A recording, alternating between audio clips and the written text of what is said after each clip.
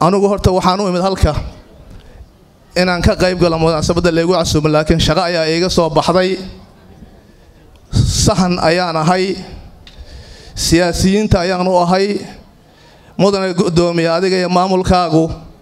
Waxaan kaa codsanaynaa inaad munaasabadahan oo dhan munaasabadahan oo kale aad noo badiso kuna casuumto siyaasadda siyaasiyiinta soomaaliyeed waxaan dareemay intaan fadhiyey in stress nahayo haddaan naha siyaasiyiinta.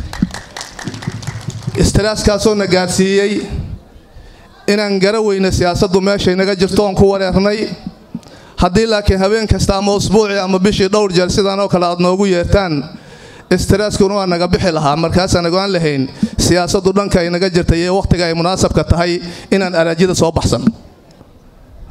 Dowladda soomaaliyeed ciddaanu naxayno waxaa lagu sifay karaa inayna garanayn meesha laga keenayo sidii lagu keena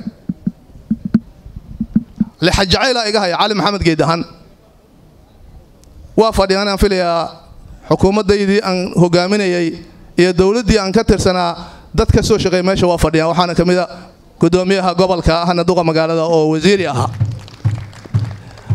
marka in dowqaygu fiicna iyo xulkaygii waxaa caddeeyey hadda madaxweyne farmaajo oo magacaaba asaga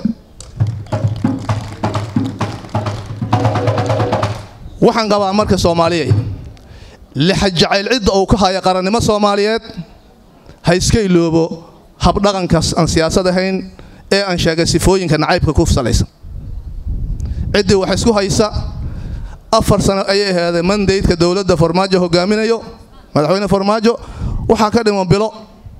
Ciddii wax isku haysa arjiga inta qorato oo dadka shukaansato salaaxato shacbiga soomaaliyeed kalsooniha ka raadsato laakiin qaylo waxba laguma qaadaya halaga waantoobaan leeyahay.